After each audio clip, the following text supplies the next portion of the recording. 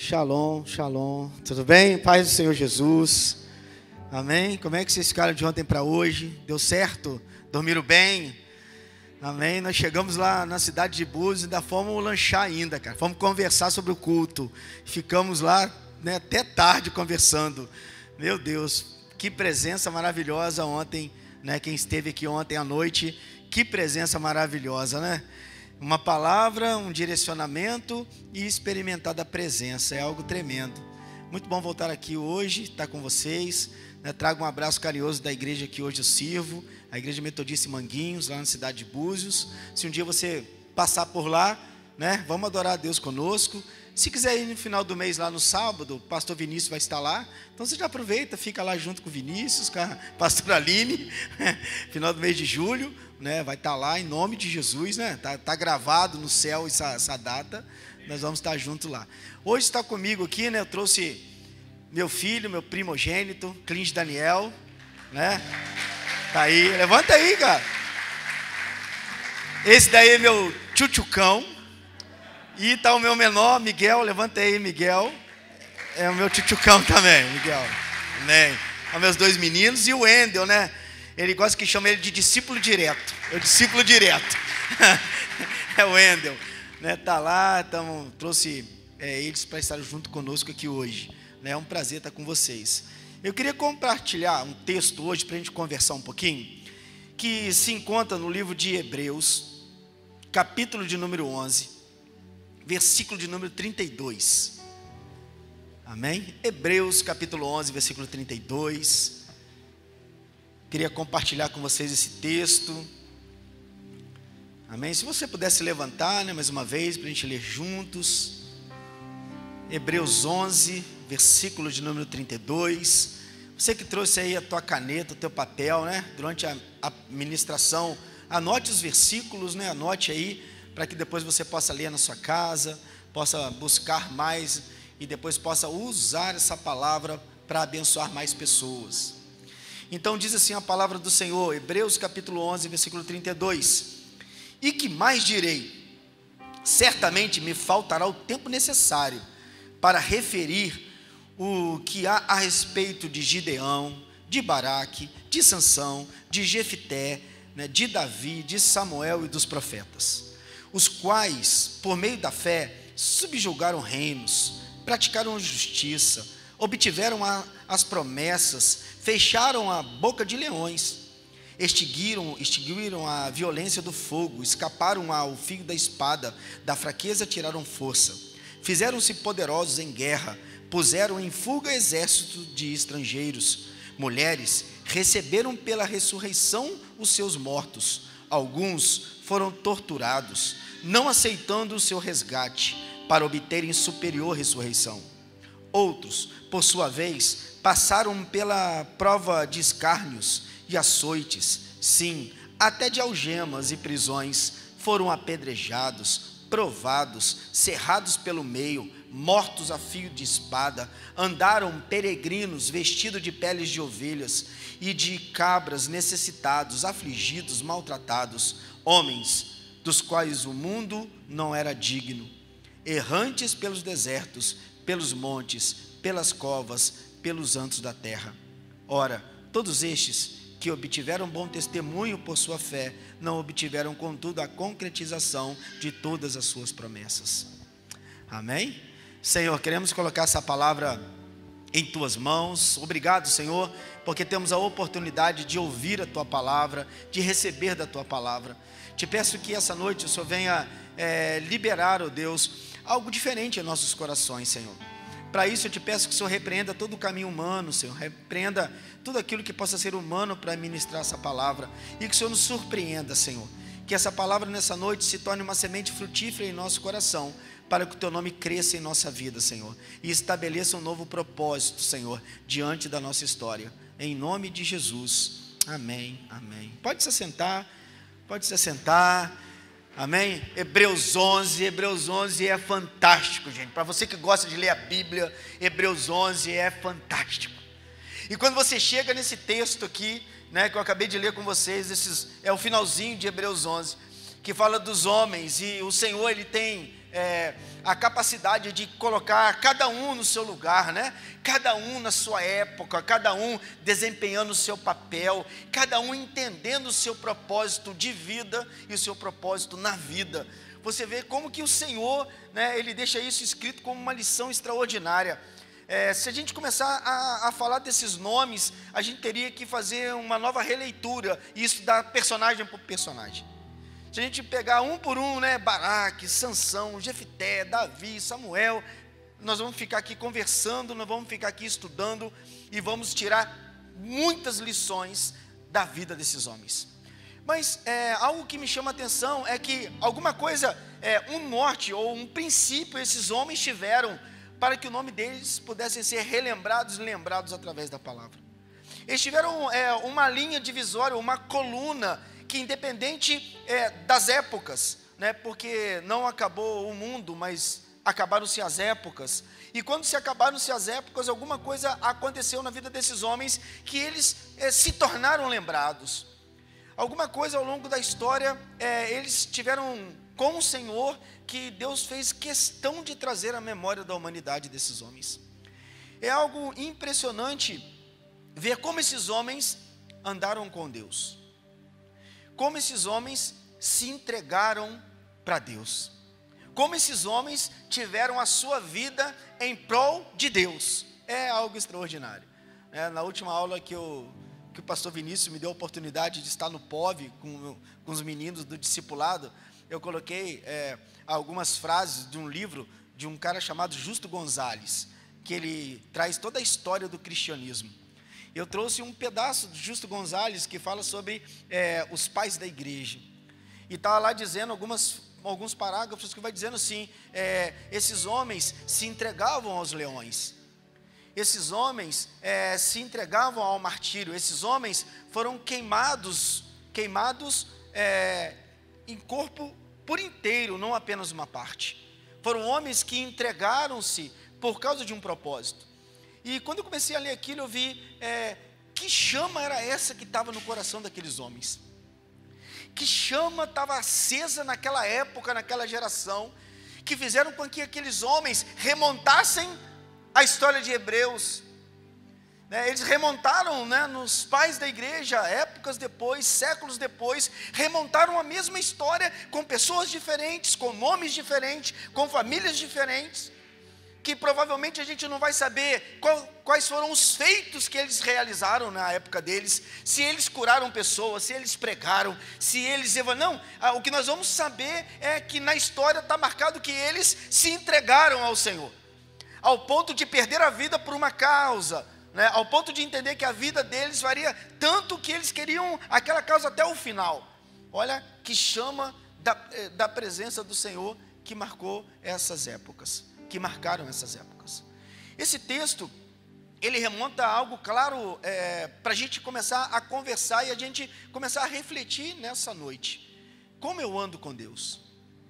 Como você tem andado com Deus? Ou melhor, quem tem sido as suas companhias espirituais? Quem tem caminhado com você verdadeiramente? Como você tem caminhado com Deus verdadeiramente? Quais são as suas companhias espirituais? As suas companhias que faz a chama do Espírito arder no teu coração, aquelas companhias que você fala, cara, eu preciso de uma resposta, eu preciso de um direcionamento, eu preciso estar do lado orando, perguntando, eu preciso. Quem são as suas companhias? Como você caminha? Quais são os lugares que você frequenta? Quais são né, ou quais seriam as suas conversas nas rodas que você está inserido. Como eu caminho com Deus? Como eu estou diante do Senhor? É impressionante que a Bíblia vai dizendo que, que andar com Deus não, é, não era algo tão distante da realidade do cristão. Se você pegar a Bíblia, e eu vou ler alguns versículos para você, você vai ver que caminhar com Deus começa o texto que pastor Vinícius leu, até fala um pouquinho da palavra os do caminho. No livro de Atos, capítulo 19, versículo 9, fala assim: Visto que deles, que alguns deles se mostravam em pedermidos de descrentes, falando mal dos do caminho. Se você ler o versículo 23 de novo, por esse tempo houve grande alvoroço acerca dos do caminho. Se você virar a tua página para o capítulo de número 21, e quando o Vinícius estava pregando, fui virando, né? Aí no versículo 21, no, cap, no, capítulo, no capítulo 22, no versículo de número 4, está assim: Eu persegui este dos caminhos até a morte. Paulo falando que ele perseguia os do caminho. Então, a, o cristianismo era conhecido com, como as pessoas que caminhavam com Deus. O cristianismo, antes de tornar o nome de cristianismo, eles eram conhecidos como os do caminho. Se você pegar a Bíblia e abrir em Atos capítulo 9, vai ver que Paulo perseguia os do caminho. Porque eles viam que existiam homens, existiam mulheres, existiam as pessoas que estavam tão tomadas por Deus, que o nome era os do caminho. Amém? Como você pode ser reconhecido nessa terra? A forma como você caminha com o Senhor a forma como você anda com o Senhor. A sua jornada com Deus pode marcar uma época. A sua jornada com Deus pode ser um divisor de águas na sua geração. A sua jornada com Deus pode deixar um legado que você não se tornará mais uma pessoa esquecida. Você será lembrado não por aquilo que você fez, mas por aquilo que você realizou nos propósitos divinos. Quando começo a ler a Bíblia, eu começo a, a entender quais são ou quais seriam as minhas jornadas nessa terra? Quais seriam os meus propósitos nessa terra? E ontem, né, nós, nós chegamos lá em Búzios para a gente lanchar, a gente estava conversando né, sobre a forma de ser cristão, e uma frase que ontem eu ministrei aqui, aquilo ficou no meu coração, de eu não aceitar ser a geração onde os valores serão invertidos. Eu fiquei com aquilo no meu coração, falei, eu não aceito, cara, eu não aceito que a minha geração vai ter essa inversão de valores né, onde as igrejas mudarão todos os valores, os princípios bíblicos que estão é, expostos até o dia de hoje. Eu não aceito que a nossa geração vai mudar tudo. Eu não aceito ver meus netos com a cabeça virada nos valores bíblicos. E nós chegamos lá, lá e a gente estava conversando. E o Rafael falou, pastor, mas como é que é, como é que nós vamos fazer na igreja? Qual vai ser o propósito da igreja? Como é que nós vamos fazer? Eu falei, Rafael, presta atenção, cara. Olha só, é muito pouco, cara, hoje para um pastor apenas encher a igreja. É pouco. Porque para pastor encher a igreja, começa a trazer até o Zeca Pagodinho que vai encher a igreja. É muito pouco. Você encher a igreja. A gente precisa saber o seguinte: se nós estamos numa cidade, cara, a gente precisa mudar o quadro da cidade. Não é só chegar e encher a igreja, mas é trazer um entendimento bíblico para a cidade trazer respostas de Deus para a cidade, trazer resposta de Deus para as mães que choram pelos filhos que estão na droga, trazer resposta para as mulheres que ainda lutam pelos maridos, que ainda estão alcoolizados, que ainda são violentos dentro de casa, é trazer um entendimento de paz para a cidade, é trazer um entendimento onde o governo de Deus ele se completa a partir de um lugar. E que essa igreja em Tanguá seja esse lugar que vem estabelecer uma redoma na cidade que não vem apenas encher a igreja, mas vem encher Deus nas pessoas lá fora. Que a presença de Deus venha inundar lá fora, venha ser tomada lá fora. Ah, Jesus! Que vocês tenham acesso à prefeitura para orar. Que vocês tenham acesso para definir o que seria de Deus e o que não seria em oração. Nós precisamos de pessoas que entendam a plenitude que entendam algo mais das quatro paredes, porque esses homens que nós estamos lendo, que eh, colocaram sua vida na presença, foram homens que colocaram sua vida na plenitude da realização de Deus. Homens que entendiam que se fosse morrer para uma causa, eles iam morrer para uma causa, mas o sistema não ia corromper eles. O sistema não corrompeu esses homens, eles preferiram entregar a sua vida a não se tornaram corrompidos diante de uma proposta de um reino estabelecido. Andar com Deus, querido, é, é, a gente ouvir a palavra que Jesus disse a alguns dos seus discípulos: siga-me. Andar com Deus é você entender o siga-me. Se você pegar essas duas palavras, siga-me, elas são subsequentes, né? É perto de Pedro e Mateus, lá em alguns evangelhos. E você vai ver que todos os dois, quando o Senhor fala para eles, siga-me, eles deixam tudo e eles vão seguir a atitude dos dois em, é, são pessoas diferentes, lugares diferentes. Mateus provavelmente recebeu o Sígame, o Sígame na cidade de Cafarnaum. Foi outro lugar que Pedro recebeu, mas a atitude dos dois foram semelhantes, porque a Bíblia diz que eles largaram tudo e foram. Eles deixaram tudo e foram. Então, andar com Deus, vai chegar um momento na sua vida que você vai ter que abrir mão de alguma coisa. É quase impossível você caminhar com Deus, caminhar na presença, sem abrir mão de alguma coisa. Você vai ter que abrir mão de alguma coisa. De repente você vai ter que abrir mão de alguns conceitos, alguns valores. De repente você vai ter que abrir mão do seu tempo. De repente você vai ter que abrir mão de algumas coisas que você tem acumulado na sua mochila ao longo do seu tempo. Você vai ter que abrir a sua mochila, você vai ter que tirar o peso. Alguma coisa você precisa abrir mão para que você possa então entrar nessa jornada que Deus está nos inserindo. Falar de jornada é, é você entender como anda o seu coração, por que você está seguindo ao Senhor, por que, que você está querendo a presença do Senhor. Por que, que você realmente está desejoso, é você descobrir que está no mais profundo do teu coração? Se você abrir a tua Bíblia, e, e Hebreus está escrito, mas eu quero ler lá em cima, lá em Gênesis capítulo 5, em Hebreus também está, Hebreus 11, 5, mas Gênesis 5, 22, fala a história de um homem que andou com Deus sem realizar nada. A Bíblia diz assim: andou Enoque com Deus. Tem um slide que eu coloquei aí, se puder colocar o slide, né? apenas um. Andou Enoque com Deus e depois que gerou Metusalém, viveu 300 anos e teve filhos e filhas. Todos os dias de Enoque foram 365 anos. Na minha Bíblia diz assim: andou Enoque com Deus e já não era, porque Deus o tomou para si. Se você abrir em Hebreus capítulo 11, versículo 5, está assim: pela fé, Enoque foi transladado é, para não ver a morte, ele não foi achado, porque Deus o tomara para si. Pois antes da sua transladação, ele obteve um bom testemunho de haver agradado a Deus. É tremendo. É, a história de Enoque mostra para a gente o seguinte: que a vida dele agradou a Deus. Ele não agradou a Deus porque ele pregou. Ele não agradou a Deus porque ele cantou muito, ele não agradou a Deus porque ele expulsou muito demônio, ele não agradou a Deus porque ele fez muita coisa, ele agradou a Deus porque ele era algo importante, ele se tornou algo importante para Deus. E a palavra Enoque no hebraico é dedicação. Então Enoque no hebraico significa dedicado. Então eu creio que quando Deus olhou para Enoque e falou, cara, esse cara é dedicado. O nome dele deve ter feito a caminhada, a jornada dele em uma vida de dedicação a Deus. E Enoque não era um cara isolado, não era um cara que ficava escondido em monte sozinho para servir a Deus, não. A Bíblia diz que Enoque tinha filhos, ou seja, ele era um homem comum. Mas mesmo sendo um homem comum, ele foi dedicado em agradar a Deus. Mesmo sendo um homem comum, ele teve uma jornada de agradar a Deus. E essa jornada foi tão impactante que Deus o tomou para si.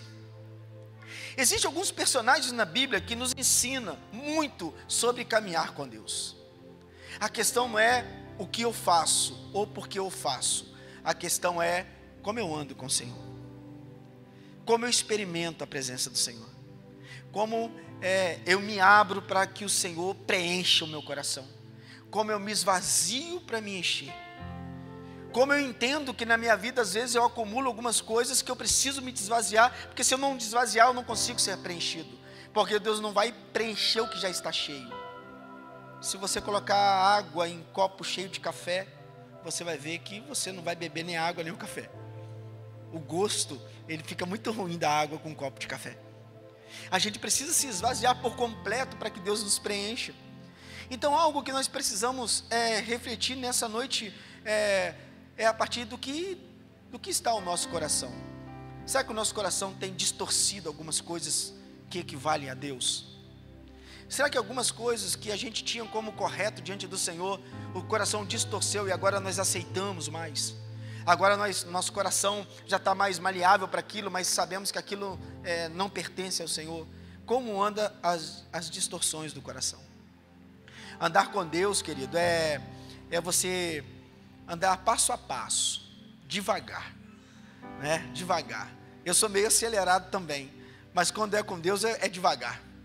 Porque às vezes você tenta acelerar as coisas não funciona. Aí você tem que parar um pouquinho, você tem que, peraí, deixa eu entender se é isso, deixa eu ver se é isso. É, é como o Senhor, é, Ele fez com Jacó na visão da escada. Porque quando você começa a caminhar com Deus, às vezes nós queremos tudo acelerado, nós achamos que caminhar com Deus é a gente ganhar um mapa de tesouro, ou às vezes é ganhar na loteria. E andar com Deus não é ganhar na loteria, não é ter um mapa de tesouro. Andar com Deus nem é muito ter uma bola de cristal para saber o futuro. Andar com Deus é você ter lâmpada nos seus pés, porque a palavra dele vai direcionar o seu caminho para onde quer que você andar. É diferente. Você não vai antever o futuro, mas você vai caminhar no presente com ele. É no seu dia a dia, no seu hábito, é nos seus afazeres, é, é, conforme você conversa, é dentro da sua casa, é como você é como pai, como filho, é como esposa, como irmão, é o seu dia a dia. Eu costumo dizer que nós precisamos nos tornar melhores daquilo que nós estamos inseridos na terra. Então, se você é marido, você precisa se tornar um melhor marido. O Evangelho precisa fazer você crescer ao ponto de você se tornar melhor. Se você é esposa, você precisa também se tornar melhor. Se você é irmão, a cada dia nós precisamos nos tornar melhor porque a presença de Deus aperfeiçoa o nosso dia e aperfeiçoa a nossa vida todas as manhãs. Eu não posso ser o que eu era antes, eu preciso ser melhor do que antes. Estão entendendo? Amém? Caminhar com Deus é, é, algo simples, mas é algo que precisa ter desejo de coração. Tem um texto que, que é muito impressionante, em Gênesis capítulo 28, 12, fala que o Senhor pôs uma, uma escada, né? na terra uma escada que atingia o céu, e os anjos de Deus subiam e desciam por ela. É uma visão que Jacó teve antes de chegar em Peniel. Então Jacó estava lá no deserto, Deus dá uma, Deus mostra para ele uma escada, e aquela escada é interessante que a minha palavra fala que essa escada estava na terra. E essa escada na terra, ela apontava para o céu. E a Bíblia diz que na ponta da escada, Jacó essa ponta da escada, ela atingia o céu, e na ponta, lá no alto, a Bíblia diz que Jacó via anjos de Deus que subiam e desciam. Eu aprendo que esse texto mostra que para a gente é, andar com Deus é, é degrau por degrau, é caminhada por caminhada, é processo por processo. E quando você começa a caminhar com Deus, você começa a subir, é, você tem que ter cuidado, porque se você cair, você tem que recomeçar de novo. Você não vai conseguir andar no meio da escada se você caiu do meio para baixo. Você vai ter que fazer uma nova trajetória, uma nova reta. Você vai ter que começar de novo. E começar de novo, às vezes as pessoas não suportam um novo início, não conseguem começar de novo. Então, é, ó, degrau por degrau, caminhar com Deus, degrau por degrau, conquista por conquista. Amém? Valorize os processos que você foi inserido diante de um plano espiritual. Eu relembro o meu dia após dia, sempre quando eu tenho oportunidade. No dia que eu levantei a mão para aceitar Jesus. Esse dia que eu levantei a mão para me entregar minha vida para Jesus, eu lembro o lugar exato, com quem foi, a forma que foi. Eu era uma pessoa que, quando o pastor falava, vem aqui na frente para orar, eu levantava e vinha para orar sem saber o que era oração. Então, se era, vou orar pela, pelas, pelas mulheres, eu ia, eu não queria receber oração. É, aí os irmãos falavam, você não pode receber oração, cara, para as mulheres, não, deixa o pastor orar por mim, e eu ia lá. É, vou orar é, pela profissional da área de educação, eu ia. Aí perguntava, você dá aula? Eu falei, não, eu não quero receber oração. Eu era desse jeito, né? eu chegava na igreja, não tinha entendimento, mas eu sabia que, que a oração no altar dava resposta, eu sabia. Então eu dava um jeitinho de estar ali. E teve um dia que o pastor, ele teve uma, uma, uma visão, porque ele sabia que eu ia receber a oração, mas eu não tinha entregado a minha vida a Jesus. Aí numa escola dominical, no culto dominical, ele pegou e falou muito rápido: Você que quer entregar a sua vida para Jesus, vem aqui no altar que eu vou orar e vou te abençoar. Eu só entendi assim: Eu vou te abençoar no altar. E eu levantei, e eu vim sozinho no altar, e eu vi que não tinha ninguém do meu lado, né? Eu falei, gente, será que eu tô. Aconteceu alguma coisa? Aí quando eu olhei para um lado, olhei para o outro, o pastor falou: Você está entregando a sua vida para Jesus? Aí já era, né? Só estava eu no altar, só estava eu lá. Aí quando eu falei estava, o pessoal, meus amigos vibraram, né? Aí foi assim, foi tremenda a forma como, como eu comecei a subir essa escada. A forma como eu comecei a tra uma trajetória, uma jornada com Deus na terra. Foi tremendo, foi assim, é, o Senhor me pegou no altar. Você está entendendo? Você se lembra quando você se entregou no altar a primeira vez? Que você foi surpreendido de alguma forma e o seu coração, é, sua mão suava, o coração acelerava, olhava para o lado com vergonha de quem estava do teu lado. E às vezes a gente entrega a nossa vida na mão do Senhor, mas na realidade a gente não sabe nem o que está fazendo. E a gente entrega e acha que nós entregamos nossa vida para Jesus, vai tudo dar certo. Quem pensou isso aqui? Quem pensou? Alguém pensou? Que prova, né, gente? que prova, né? Porque a gente acha que vai dar certo com a nossa vontade. Aí começa a dar certo com a vontade soberana de Deus. Aí a vontade soberana dele começa a trazer respostas, começa a cortar algumas coisas, começa a tirar amizades, começa a tirar relacionamento, começa a colocar algumas coisas no nosso coração. Né? Algumas pessoas que têm relacionamento conturbado, quando, entrega, quando se entrega para Jesus, a primeira coisa que ele faz é Vai assim, ó, peraí, filho, ó, aqui já não dá mais. Calma agora. É, se concentra na presença que algo diferente vai acontecer. E assim é a nossa trajetória, a nossa jornada com a presença do Senhor. Eu me lembro também exatamente a, a primeira vez que eu senti a presença do Espírito Santo. Você tem isso na tua mente? A primeira vez que você sentiu uma presença que você sabia que não era normal, que não era humano. Você lembra é, como foi? Aonde foi? O que você sentiu? Né? Eu, eu, eu, não sei se você já ouviu falar no colégio salesiano, em Barbacena. Esse colégio salesiano tinha um retiro é, espiritual da Igreja Metodista em Barbacena. E eu fui convidado com umas pessoas para ir para lá. Só que eu fui para lá para jogar futebol. Eu não fui para lá para retiro. É, ia ter um campeonato de crente, né? Retiro de carnaval tem essas coisas, né? E eu fui lá em Barbacena. Fui lá com os meninos da igreja jogar futebol. Na primeira noite, me chamaram para orar na madrugada. E chegou lá e eu não queria orar na madrugada. Só que eu estava com um irmãozinho do meu lado, que ele que coordenava a oração do lugar. Então não tinha jeito. O irmãozinho levantava e falava: Clinge, levanta. Falei, vamos levantar para quê, cara? Vamos orar, cara, tá na hora. Falei, rapaz, não, vamos lá, vamos orar, vamos orar.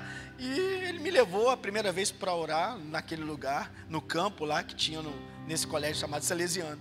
E quando ele estava orando à noite, eu percebi que algo diferente estava acontecendo com aqueles meninos. Eu percebi que alguns meninos falavam uma língua que eu não entendia. Eu percebi que algumas pessoas ficavam. Vocês lembram quando as pessoas ficavam sapateando assim? Lembra? A pessoa ficava sapateando, sapateando, que quando você soltava a pessoa, a pessoa pegava uma reta assim, que eu falei, é igual o general machando. E eu lembro que eu estava naquele lugar e aquela pessoa começou a sapatear, começou a sentir a presença. E eu de novo, né, foi a primeira vez que eu falei assim, se é de Deus, eu quero sentir isso. Quando eu falei isso, eu comecei a sentir algo diferente. Meu braço começou a tremer, meu coração começou a acelerar. E eu lembro que eu tentava soltar a mão do rapaz que estava do meu lado e o rapaz segurava mais minha mão mais apertada, né? E, e, e, apertava mais a minha mão. E eu falei, meu Deus, que lugar é esse? E ali foi a primeira vez que eu experimentei uma presença que até então em toda a minha vida eu não tinha experimentado. E na nossa vida ela é assim. O que nós experimentamos que é bom, nós repetimos e se torna um hábito. Aquilo que nós experimentamos que é ruim, nós abolimos na nossa história. Isso é desde alimento até sentimentos. Se você come algo que você não gosta, você vai abolir isso do seu cardápio, não fará parte do seu hábito. Agora, se você gostar daquele alimento, ele vai fazer parte do seu hábito, vai fazer parte da sua vida. Assim também é no sentimento. Se uma pessoa foi machucada alguma vez, carrega algum trauma de ruptura, ou por infidelidade, ou por alguma situação que fez aquela pessoa se sentir totalmente frustrada nessa área de relacionamento, ela acaba não querendo experimentar e se dá uma nova chance. Porque ela acha que toda a pessoa que chegar depois daquela frustração vai acontecer a mesma coisa. Então ela acaba não querendo experimentar um novo momento de Deus naquela área. Eu queria que você nessa noite é, começasse é, a fazer uma alta análise da sua vida, se você tem subido degrau por degrau diante da presença do Senhor.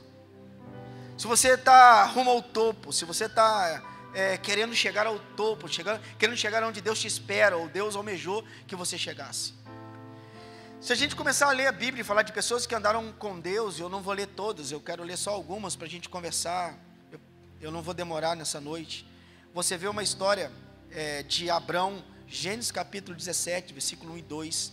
a Bíblia diz assim: quando atingiu Abrão a idade de 99 anos, apareceu-lhe o Senhor e lhe disse: Eu sou o Deus Todo-Poderoso, anda na minha presença e ser perfeito.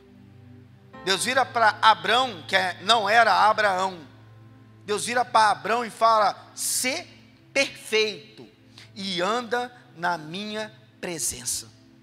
E eu peguei né, a tradução da palavra presença no hebraico e perfeito no hebraico.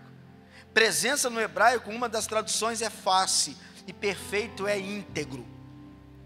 Deus vira para Abraão e fala: enquanto você estiver olho no olho, você precisa ser por inteiro comigo.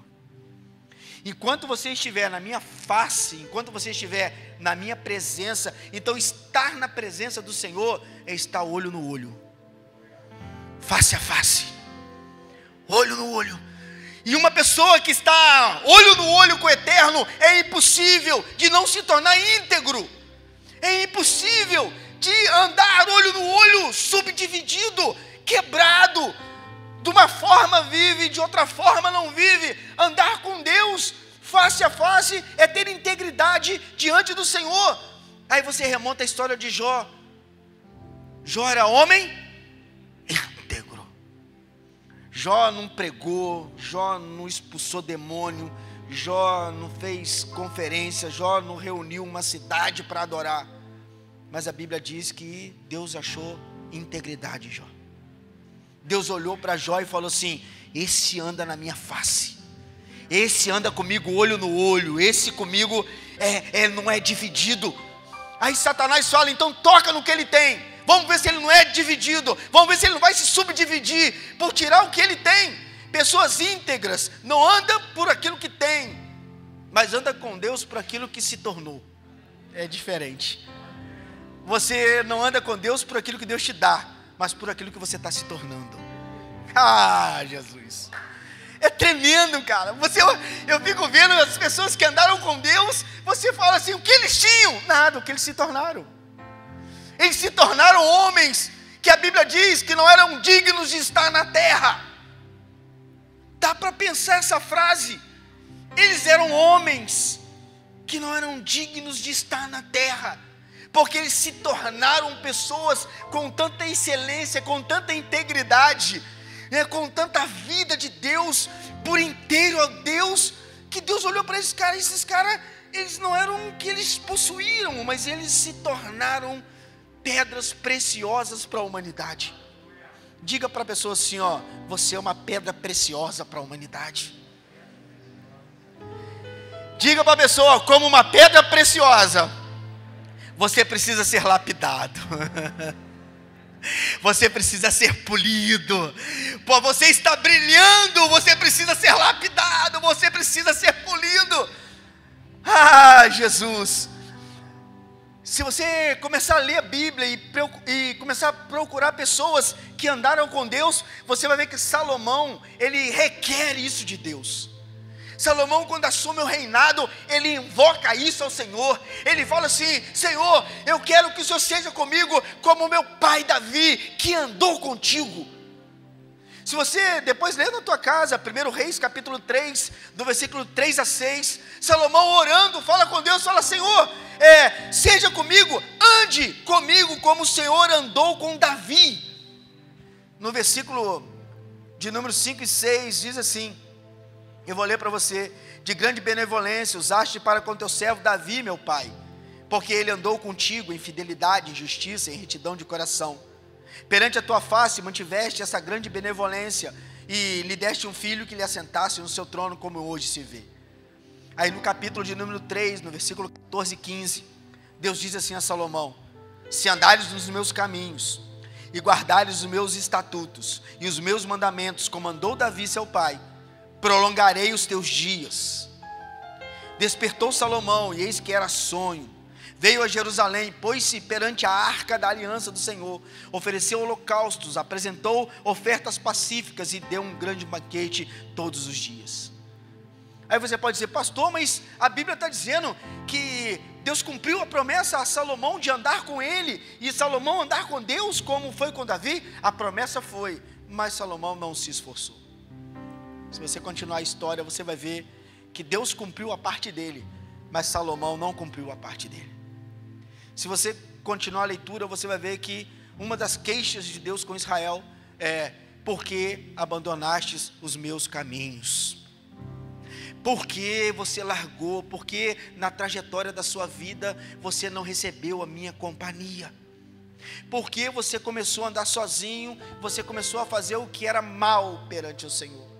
Tem um, uma parte da palavra que diz que o Senhor fala assim: vocês estão fazendo coisas que nem passou pela minha cabeça. Tão perversa que eram as gerações. No versículo de número 11 do capítulo capítulo 11, versículo 33 de 1 Reis, a Bíblia diz assim: porque Salomão me deixou e se encurvou a Astarote, deusas do Sidônio, a Quemos, deus de Moabe, a Micom, deus dos filhos de Amon, e ele não andou nos meus caminhos para fazer o que era reto perante mim. A saber, os meus estatutos, os meus juízos, como fez o teu pai Davi.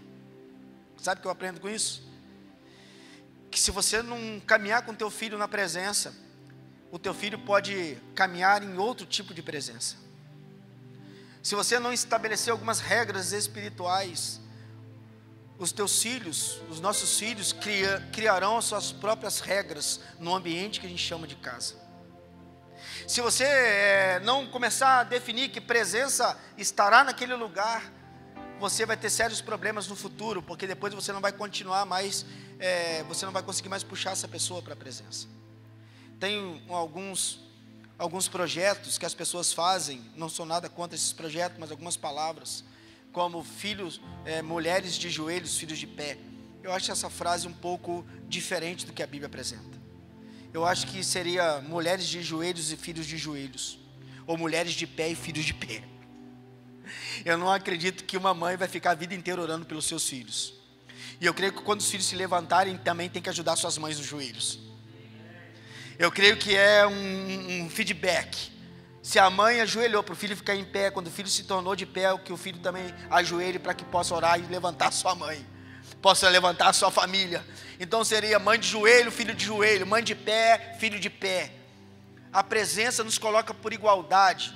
A presença nos coloca ao par de caminharmos e entendemos é, aonde nós vamos e com quem nós iremos. Amém? Aleluia. Andar com Deus é estar na mesma direção. Hoje eu vim aqui com o coração muito alegre dizer para você: ande na mesma direção do que Deus tem para a sua vida.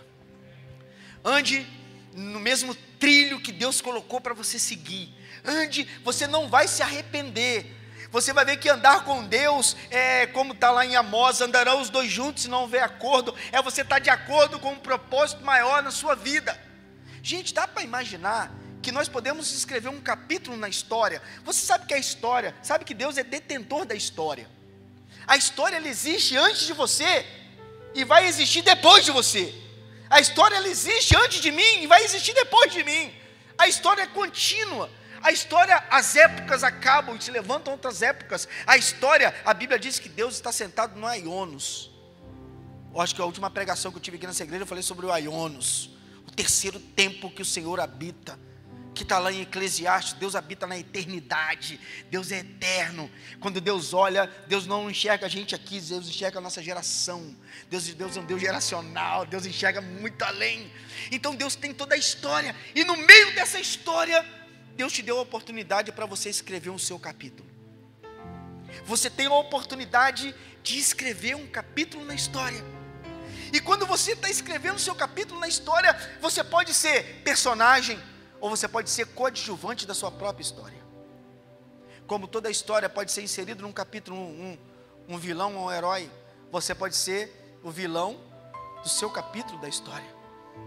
Porque quando nós violamos princípios que está direto do trono para a nossa vida, nós recomeçamos sempre. Recomeçamos sempre. Recomeçamos sempre. Então, diante dessa imensidão da história que existe, você pode ser o protagonista da sua história. Então não tenha algo ruim na sua vida como um final, mas tenha como um ponto final de um parágrafo da tua história.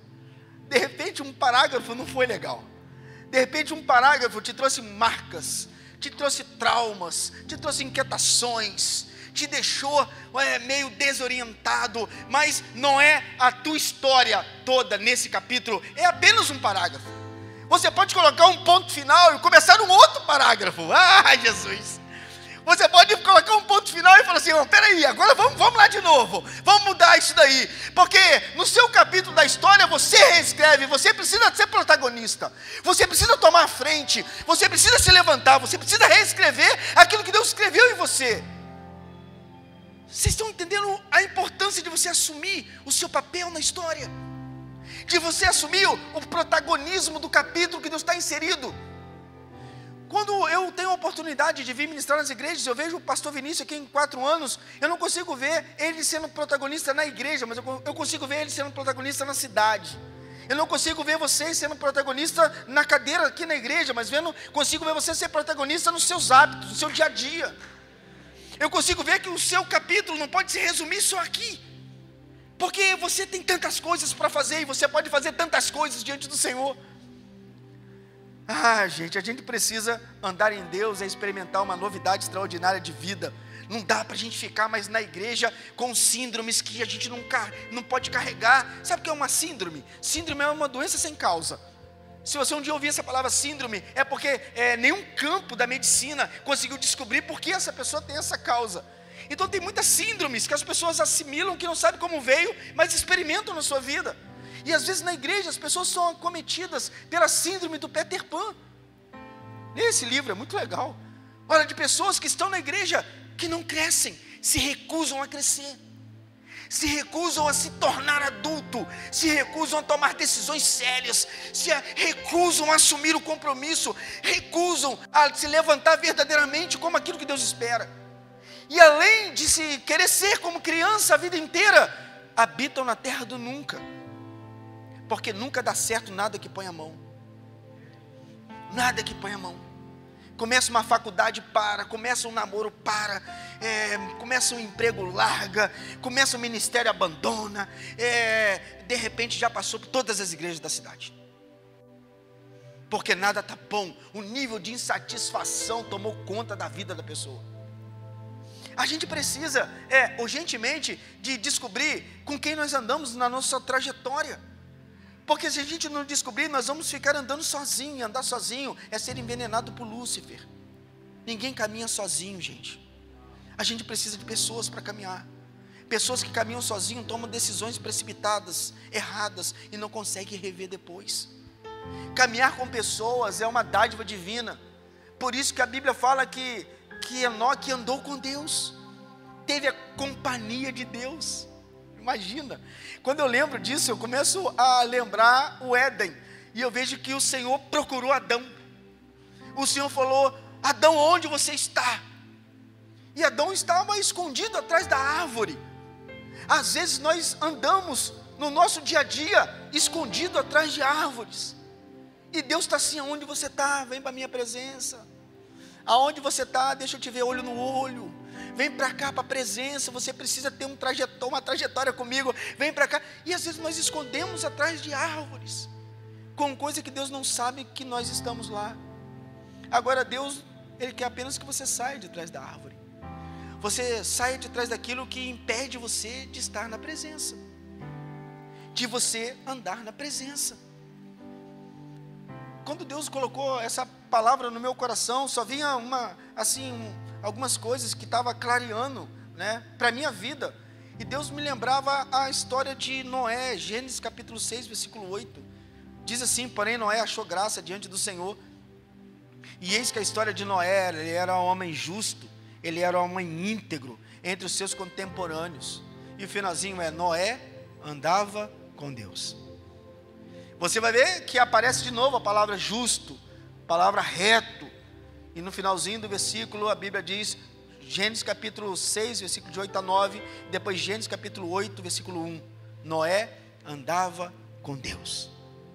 Noé andava com Deus. Eu fico imaginando a construção da arca. Às vezes as pessoas se preocupam muito com o final. Eu não sei se você é do tipo de pessoa que se preocupa com o final, sofre pelo final sofre pelo amanhã. Né? Noé, ele não sofreu pelo dilúvio. Aí ontem o pastor Vinícius Robin estava brincando comigo. falando sobre a volta de Jesus, né? Estava brincando comigo.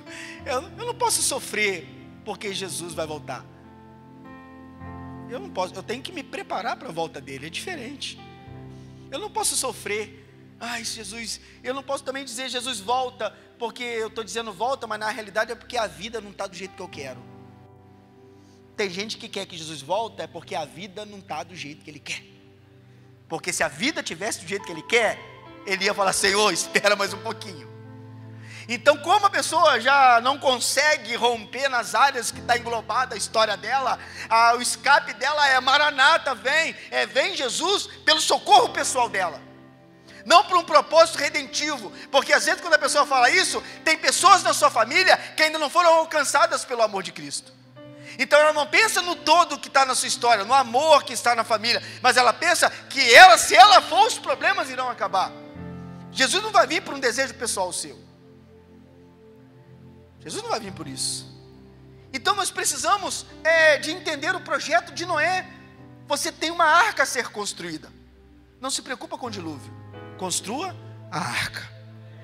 Não se procura, não se preocupa com a chuvarada que vai vir mas continue na presença. Dia a dia, hora a hora, manhã, tarde e noite, manhã, tarde e noite. A Bíblia fala que a, a, o dilúvio veio depois de 120 anos. Ou seja, Deus não se apressou. Deus não apressou Noé. Se Noé terminasse a arca com 30 anos, o dilúvio vinha com 30 anos. Se Noé terminasse a arca com 200 anos, o dilúvio vinha com 200 anos. Deus está assim, apenas anda na minha presença e trabalhe e construa a arca. Essa era a ordem. E a ordem, às vezes, está clara no nosso coração. Deus está falando, ande na presença. Construa a arca. Não se preocupe com o que vai vir. Apenas construa a arca na presença. Se você andar na presença, querido, você vai desfrutar da presença dia a dia momento a momento. Eu costumo dizer que a gente precisa perseguir a presença, perseguir a nuvem. Quando a presença está no lugar, a gente, vamos lá, é lá na presença. É porque é nessa presença que eu quero estar. Eu quero ser conectado a essa presença. Amém? Está entendendo, todo mundo? A nossa vida nós perseguimos muitas coisas. Você pode perseguir muitas coisas na sua vida. Eu queria que essa noite seja uma noite que, que fosse um divisor de águas na sua vida. Que você, a partir de hoje, você perseguisse de verdade a presença de Deus. Perseguisse andar com Deus, caminhar com Deus, estar face a face com Deus. É tremendo. Lá na igreja eu tenho um, eu tenho um direcionamento, né? Meus meninos estão aqui, eles sabem que eu pego no, pego no pé deles. E eu falo o seguinte, que às vezes nós estamos na igreja e nós precisamos, nós precisamos, independente do que está acontecendo, a gente está na presença. Então, se o louvor está acontecendo, é, eu, eu quero olhar para a pessoa do lado e dizer assim, cara, essa pessoa está na presença, ela está no lugar que eu não estou. Então eu preciso adorar para me chegar naquele lugar. Eu preciso entender que às vezes as pessoas estão no mesmo ambiente, o mesmo louvor, mas as pessoas estão desconectadas da presença.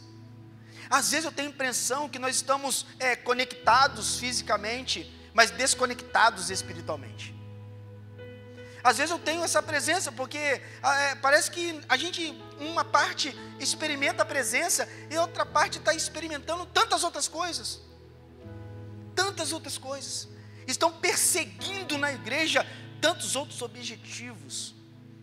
De repente você veio aqui na igreja hoje perseguindo um objetivo pessoal e está dizendo para você hoje: abra mão do teu objetivo pessoal e entra no objetivo divino, que o que é teu vai ser teu. Não precisa perseguir aquilo que Deus te liberou, só precisa esperar o tempo exato para você colocar a mão. Porque Deus sabe o seu endereço, meu irmão. Deus sabe o número da tua casa, Deus tem o seu sobrenome. O que é teu é teu, ninguém coloca a mão. O que é teu é teu e nenhuma obra vai tirar isso, nenhum maligno vai pegar. O que é teu, quando chegar o tempo, é teu. E não tem essa história de atrapalho, não tem essa história, é, não tem essa história, eu vou fazer para Deus fazer. Esquece, ó, a história é o seguinte: quando é teu, é teu. Quando o céu abrir sobre a sua vida, é sobre a sua vida, é teu. Então, quando a gente chegar no ambiente profético, não dá para a gente chegar perseguindo outras coisas que não seja a presença. Quando eu remonto essa história de, de Hebreus capítulo 11, eu fico imaginando esses homens perseguiram na terra, como eles acordavam, acho que eles acordavam, cadê a presença? Para onde nós vamos, Senhor? Para onde que eu tenho que ir? Rapaz, é, é, parece até, remonta um pouquinho da história de Paulo, né? Eu acho que até o Vinícius leu. Não volta para Jerusalém, porque Jerusalém você vai ser é, preso. Eu estou tendo uma visão. E Paulo está dizendo: Hã? Como é que é? Peraí, é lá que eu vou. Se eu for preso, para mim é até lucro. Porque eu estou entendendo para que eu fui chamado, eu estou perseguindo a presença. E se para receber a presença eu tenho que estar algemado, é lá que eu vou. É tremendo isso. As pessoas não se importavam é, como elas estavam, mas elas se importavam de agradar o coração do Senhor. Dá para imaginar uma igreja buscando a presença toda, toda a igreja? Dá para imaginar? Dá para imaginar? Eu tive uma experiência de ir num congresso na Bahia, onde tinha 3 mil homens. E naquele lugar, quando nós, chegamos lá, e estava 3 mil homens orando, buscando a presença. Quando eu entrei no lugar, as vozes buscando, sem um louvor, sem uma palavra, só homens orando, só homens buscando a presença, sem petições pessoais, sem perseguições de êxito, mas os homens naquele lugar dizendo assim: enche esse lugar, Senhor, eu quero sentir a Sua presença, Senhor coloque a nuvem da tua presença. Quando eu cheguei naquele lugar que eu vi aqueles homens gritando, orando, orando, a minha perna já balançou. Eu falei, meu Deus do céu. Se entrar um endemoniado aqui, já fica possesso na porta. Só pelas vozes. Foi impressionante. E quando o irmão pegou o teclado, quando eles começaram a louvar, o céu, mas o céu rasgou naquele lugar. Simples Simples, porque aquele lugar as pessoas começaram a buscar a presença. Eram pessoas que já saíram dos seus estados com um coração assim: eu vou levar, eu ando com Deus, então eu vou levar Deus para aquele lugar. Você imagina 3 mil pessoas assim: eu ando com Deus e eu vou levar Deus para aquele lugar. Eu ando com Deus, eu vou levar. Imagina, imagina se todos nós, num domingo, saíssemos de casa como nós andamos com Deus na semana, trouxéssemos Deus para um ambiente chamado igreja. eu acho que a gente já estava aqui já voando, né? A gente já, porque é, eu só trago porque eu entendo que eu estou andando. Então eu queria que essa noite, essa noite é noite de renovo, né? Que Deus abençoe o pastor Vinícius, a pastora Aline, todos os pastores desse lugar, as famílias desse lugar mas que vocês é, comecem uma nova trajetória com o Senhor. Que você nessa noite comece a reescrever o seu capítulo na história. Que você comece agora nessa noite a caminhar com Deus ao ponto do seu capítulo ser reescrito novamente. Um novo parágrafo. Nós vamos louvar o Senhor. E eu queria que essa noite você, você que quer andar com Deus, que você se levantasse junto comigo. Vamos levantar. Eu não sei como, como, com quem você tem andado, quem são as suas companhias espirituais, quais são as suas dificuldades que começam na segunda-feira, mas eu queria que hoje você traçasse uma nova trajetória na sua vida, que você, junto comigo hoje, perseguisse a presença. Antes da pandemia, eu fiz um voto com Deus, antes da pandemia eu fiz um voto com Deus. E o voto com Deus que eu fiz foi que eu não mais desperdiçasse os lugares que Deus tem me dado oportunidade para pregar, sem experimentar a presença do Senhor. Eu fiz um voto com Deus e, e lá na igreja, quando eu estou ministrando, é, eu, eu, eu, pode ser qualquer pessoa que está pregando, qualquer pessoa que está adorando. Eu fecho meus olhos e ali eu falo: Senhor, eu preciso estar na tua presença nesse lugar. Às vezes os meninos cantam um cântico, eu nem sei o que é. Aí eu me apego numa frase do cântico.